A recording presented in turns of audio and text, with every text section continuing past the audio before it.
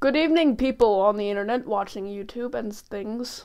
Welcome to the Healing Forkman channel, the only channel you're currently watching.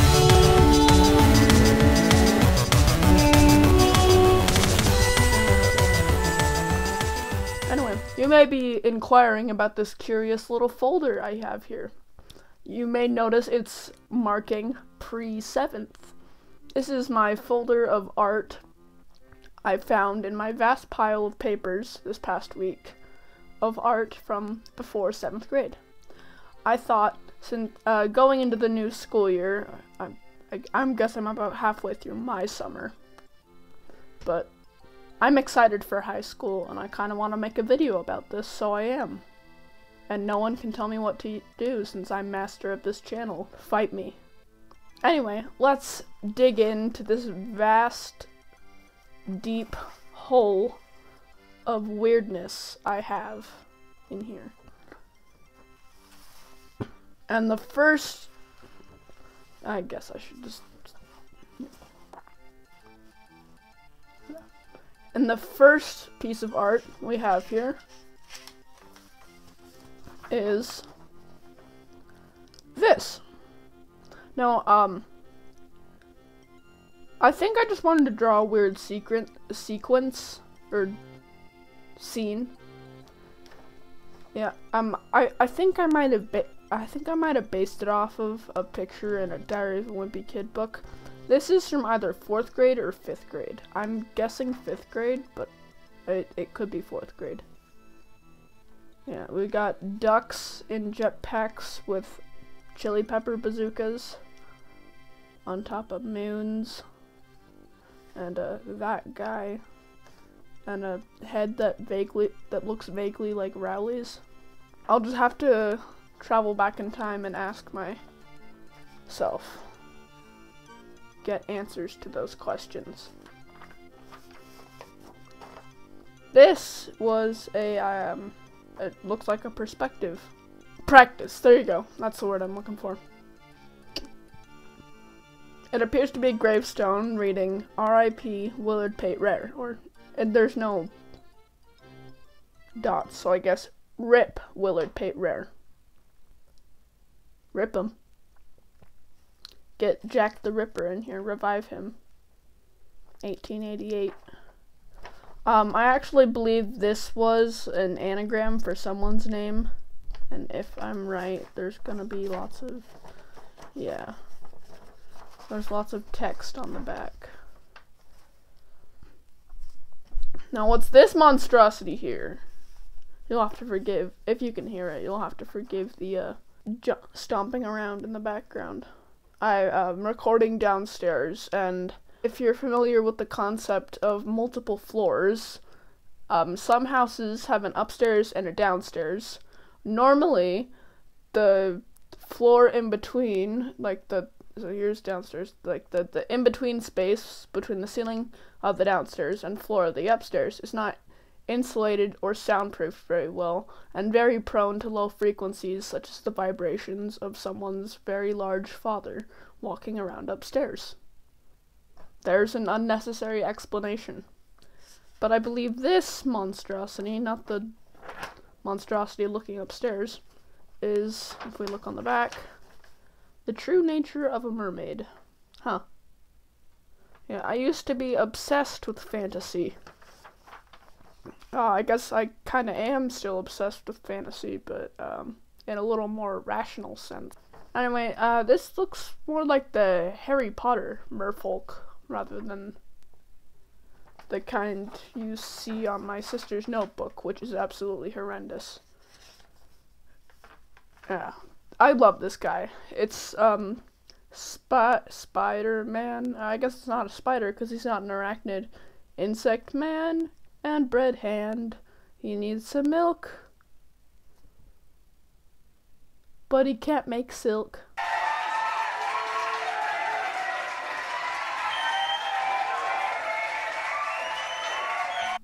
Yeah, that's all he got. He's got his spider nose and spider thighs. I know. Spider knows, spider knows, nobody knows where this thing goes. Going there and Yeah, I don't I don't got it. Next picture. Yeah. This looks like a fine little doodle. It appears to be a weird dragon duck thing facing off against an eyeball of this thing. A guy with rocket thighs. A banana cannon. A weird thing. And a superhero potato who appears to be saying incorrect. Oh, and an alien octopus thing. Oh no, yeah. This is my true masterpieces. This I know is from fifth grade, and I believe it was going to be the cover art, or at least concept cover art, for a comic book I was making with my friend. They got a guy who's on fire, a person who has transparent legs, as you can tell, or his just cape is somehow going through his legs. There's a guy with a net on his hand chasing a bird. There's a like a cow thing, if you can see it. Someone with knives. No, is that a do you think um, do you think that's a cow or like a sad dog with a droopy nose? Poor dogs. I don't know what to make of that thing. Certainly not make out. now these things were fun.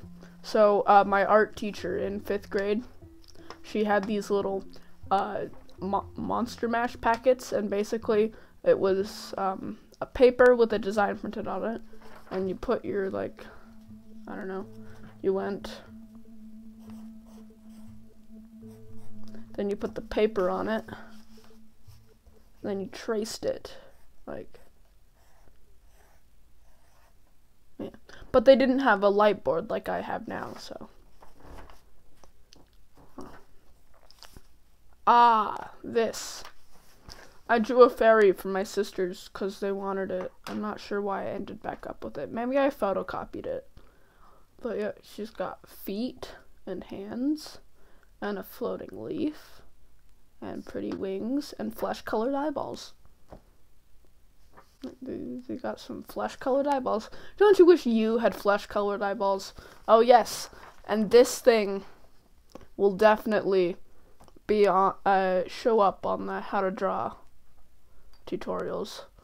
Let's make a, a pair of pale green pants with nobody inside them. Just to stick with the pair of pale green pants with nobody inside them. That was one of my favorite Dr. Seuss books. It was spooky enough just to be spooky. And the audio version is even spookier.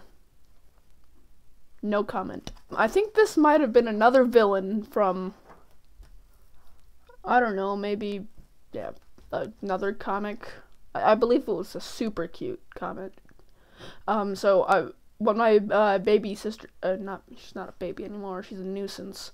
Uh, when my sister Vivian was born, I made a comic of her being a superhero, and I called it Super Cute. And I think this was supposed to be some sort of soda themed villain. Oh well.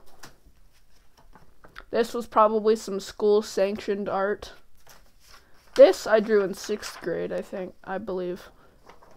Yeah. It's an iron golem, not from Minecraft, from D&D. Again, reinforcing the obsessed with fantasy detail. Uh, yeah, more of those monster mash things. Like, does it make any more sense if you turn it upside down? No, it makes less. This definitely was a school sanctioned art piece. It was Shapeville, and I hated and I hated making it, but I still found a way to pour my um, disturbed imagination into it. I suppose it's more disturbed now than it was then, but you got like a book with a tongue coming out of its chin, a dunce balloon with holes in it. That the road has a hole in it. It's a manhole lane. If you can read it, I have terrible, horrendous handwriting and uh, apparently I don't know how to darken text. If you can see, if you can't see, it says stuff tower with lots of stairs. You got an octopus kite, triangle with legs, a sad square. Got all sorts of stuff. Yeah, I, I'm I like this guy. Maybe I'll do a how to draw on him if you can't figure it out. And that's all my fourth. That's the majority of my the fourth and fifth, and like a very little of my sixth grade art. But there's more. A notebook full of math and doodles, and apparently a story. Yeah. So this was a character I had with my friend in sixth grade. She and I really like to play D and D and stuff, and I guess we developed this character, Leo Ulmunkia, the half-elf sor- uh, sorceress, and someone's phone number there. It's not my mom's phone number, so some uh, someone, you should go call that phone number and put post in the comments what happened. Maybe you'll call my friend. Anyway, this is a poor attempt to draw a dragon. Like, if you can tell, I could not draw wings or find a correct way to attach limbs to a body. I still have a hard time with that. Which is why I stick to more cartoonish stuff. This appears to be a suit of armor. Math. Looks like I'm subtracting decimals here. Is sixth grade math really that simple? Like, if you'd like with the gauge the eighth grade math is at with linear equations and algebra that makes lots of sense if you think about it. Got boop. Yeah, just what I thought it might be. Sticker bar appears. It's like the Snickers bar is like forcing him to put his head back on. Or like maybe he's trying to get his head to fly after the Snickers bar. We'll never know. Oh yeah, I wrote a I, yeah, I wrote a will, my will. And I wrote a list of ways of die, uh, list of ways I could die at Goblin Valley. This is another character me and my female friend had, uh, the one I played D&D with. Uh, Lados Creed, the uh, tiefling fighter. If you don't know what a tiefling is, basically like, basically a half demon. He's got a giant shield, and he looks like he's four feet tall. Like, from like pr- proportions, yeah, he looks like he's four feet tall if you look at it. That looks like it might be an erased drawing of a poor- poorly drawn Shrek. I don't know, some doodles like a worm with wings. This, uh, yeah, it's uh, Batman. Um, I'm a llama. Batman llama. Batman giraffe. Normal giraffe. I got in a long argument with my friend when I was drawing this in class about what was a llama and what was a giraffe.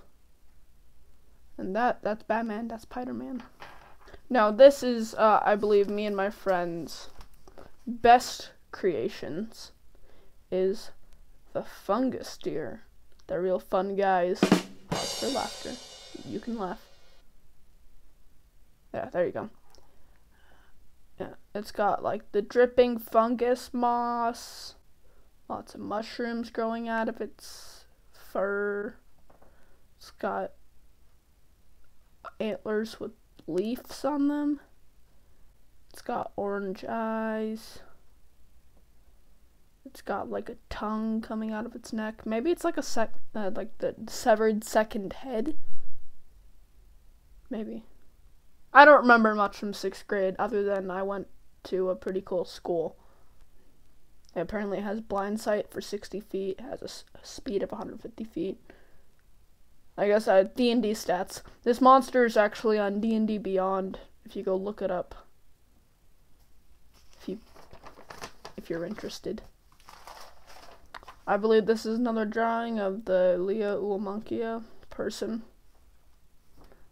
Appar- I couldn't draw faces, so she wears a mask.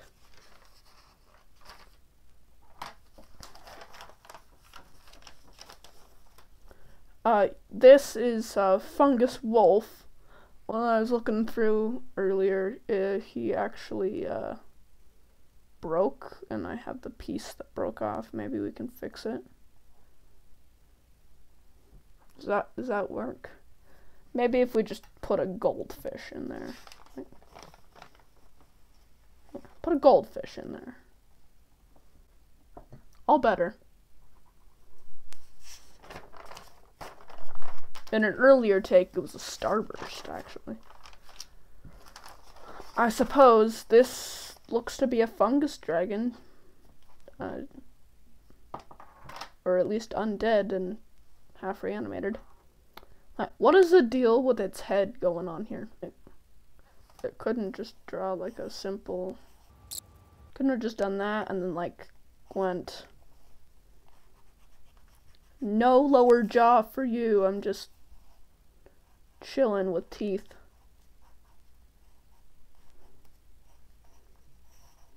Yeah. Yeah. Let's move on before I desecrate more of my old art. I tried to write a song, or maybe it's just a doodle.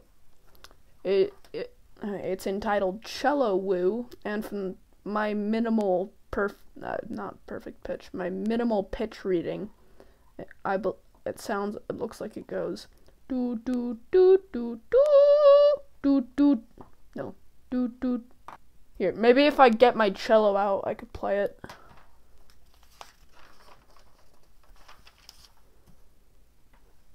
Uh, this looks like it's a fungus human. Yeah, and I still can't draw humans. But what I could draw back then is Strongbad. Oh, he needs a neck. Maybe we can like draw a really bad Homestar. Homestar? Yeah, it's Homestar. If you don't know what homestarrunner.com is, you're missing out on a lot. It's really funny. It's like you have legs. Drawing bad.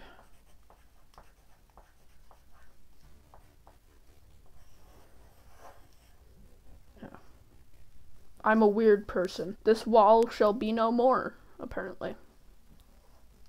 Poor wall. Not getting to be anymore. Ah. Yes. This is a uh, dragon. And see, I'm missing crucial details of dragon wings. Where, drag, I guess some dragon wings could look like that. But if you take a close look at any wings, they kind of go like. So if it were to be an arm, they kind of go like that. Because we got our shoulder, elbow, and wrist and then you get stuff like, and then your fingers extend from here. Except bats also have a. Uh, so you get a. Yeah, that's a poorly drawn, but better than that dragon wing. this looks to be concept art for a comic book character. I'm kind of glad I recovered that. I'll use it. Right now I'm attempting to draw a comic for Chicken Hand Man. If you didn't see that video, I would suggest watching it. These, uh, this looks like more, uh, D&D schematics for, oh no, wait, these are Mega Base schematics for a, uh, primitive, uh, form of SMP that I was going to do with my cousin back when we both played Bedrock Edition of Minecraft, and not just Bedrock Edition, Wii U Edition, which is one of the most bugged games you'd probably ever play if you've played it. Have like a whole album on my Photos app dedicated to bugs I've found on it. And there's my hand. It's bigger now. I guess like here's that, and then if I line my thumb up, I get, that's like a inch difference. My middle finger's grown an inch. And I still can't play the cello with it. Looks to be more schematics. D&D map of campaign. I would suggest using uh, graph paper for drawing out a dungeon map. It's just a little easier that way. Guard statistics. Guard 1 has 11 of 11 hit points. Stacy only has 2. Maybe that's initiative number. Ah, yes. Normantoth, the Demon of Darkness. I, I, I have no context for this, but it's a pair of red eyes. Maybe if I dim edit in a picture. Dim. Ooh, yeah, this is one of the best games of add-on I have ever played in my life. We got something we titled One Thing, where we each drew one thing until the page slowly filled up. I'll draw Bibby. Because every uh, game of add-on needs a Bibby, some sort of Bibby imagery. Yeah, that's not my best drawing of him. My best drawing of him is up there. And if you saw that video, you learned you could draw. So we got Mickey Mouse stealing the stars. We got some butter, pirate ship, a coffin, weird sun, weird moon, mouse, alien, Star Trek ship, the Discovery. Is is it the Discovery? I'm not old. I don't watch Star Trek. I do watch Star Wars. I am old enough to watch Star Wars. There's a swirly thing. There's a face, a cone, a table, ice cream, table, Bibby, table, Bibby, bow tie, Bibby, table. Ice cubes versus butter. He looks sleep deprived. That is one sleep deprived cube of butter. And I bet that's a sentence no one's ever said before. Other than me. I've, I've said it a couple times when I was uh, planning out what I'd say for this video. That's cool. Uh, what, so, like, he gave me a cactusipus. Cactus octopus? Octocacti? It, it looks like an octopus cactus. He, he, um, so we were each gonna try uh, draw a flower-eating sombrero. Uh, so my cousin drew this. So then I had to point out to her that um, that's a flower-eating a sombrero, and this is a flower-eating sombrero. It's a sombrero eating a flower, not a flower eating a sombrero. Sombrero and witch hat. And I forgot to add top hat.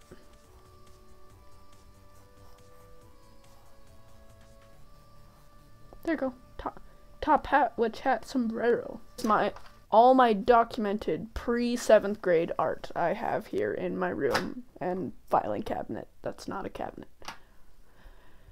Anyway, I hope you enjoyed my showing off of my wild imagination when I was younger, and it only gets better from there. Maybe in another video I'll do uh, my seventh grade art and maybe my eighth grade art as I'm going to ninth grade. And maybe next year I'll uh, do a video reviewing all the art I did in ninth grade. This is going to be a great year, and I'm excited for high school. I don't know if I should be excited, so anyone who has actual knowledge of this subject, please advise me. Should I or should I not be excited for high school in the comments? Bye. Remember to check out the Discord and do the other stuff that YouTubers tell you to do bye again. Good night and do stuff. Stay living and uh, don't die in a fire this time.